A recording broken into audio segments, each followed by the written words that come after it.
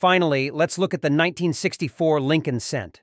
The obverse features the iconic portrait of Abraham Lincoln with In God We Trust, Liberty, and the year 1964. The reverse design shows the Lincoln Memorial and inscriptions. In 1964, the Philadelphia and Denver mints produced these coins, with Philadelphia minting approximately 2.6 billion and Denver around 3.8 billion. No proof coins were produced for general circulation this year, but special mint sets were available. The value of the 1964 Lincoln cent in circulated condition is generally face value, but uncirculated examples can be worth more, ranging from a few cents to a few dollars. This coin is notable as it marks the last year before the mint switched from 90% copper to a copper-plated zinc composition.